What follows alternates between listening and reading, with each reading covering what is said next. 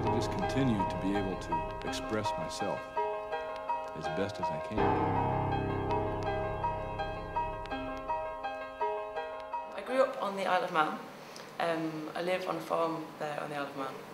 I think I've always just had this thing to make and it's like sitting in front of the TV when you're six and you're just grabbing whatever's around and making a mess on your mum's carpet or grabbing hay bales and making dens in the shed and making obstacle courses around the farm and I look back now and I think of course I was a sculptor but I had no idea at the time and I had no idea what it meant to be an artist or why anyone would want that. My dad collects objects and paintings. The house is full of stuff which again probably feeds in and also he kind of he's, he can draw quite well himself and whenever I used to draw anything he'd always say you know if that was a real cow I'd shoot it he'd always pick up on what was right or wrong in a drawing.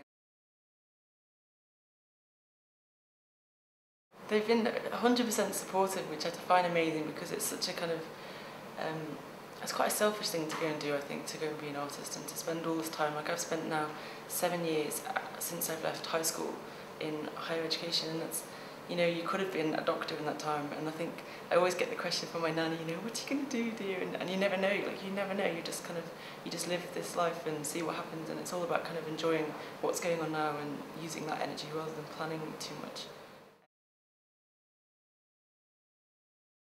I went and sat in Paignton Zoo with um, his name is Brutus and he's a big mandrill and um, for a couple of days just sat with him and I was drawing with paint with my finger and he was drawing with his poo on the glass.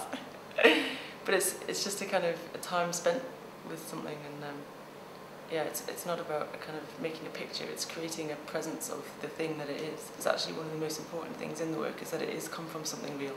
Even though now the clay has become a bit more relaxed and has more room for for something else it's still very much because of something observed or something real. The journey is everything and I couldn't have made what I'm making now if I hadn't have gone through all the rest of it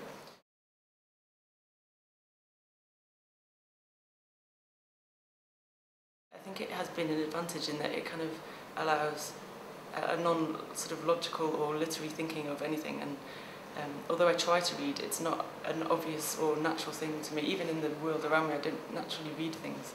All my um, experience is down to the physical, and, and it's sort of similar in communicating between people as well. It's more of an instinct or a reading of someone's feeling than, a, than what's been said in words.